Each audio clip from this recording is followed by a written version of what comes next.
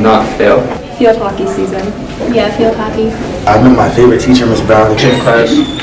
Getting good grades.